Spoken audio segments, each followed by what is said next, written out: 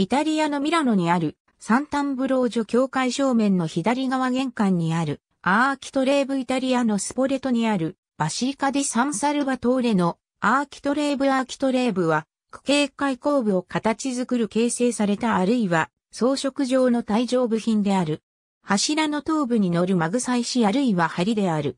アーキトレーブ、フリーズ及びコーニスからなるエンタブラッチアの最下部に当たる。アーキトレーブという言葉はギリシャ語とラテン語のアルスとトラブスが組み合わされて、種、量を意味している。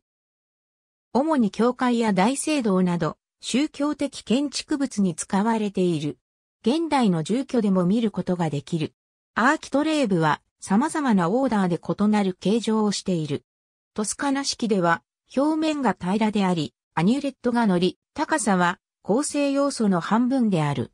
ドーリア式と複合型では2面があるかビーンがあるかであり、イオニア式とコリント式では3面あり、構成要素の高さの12分の10あるが、残りの構成要素の半分である。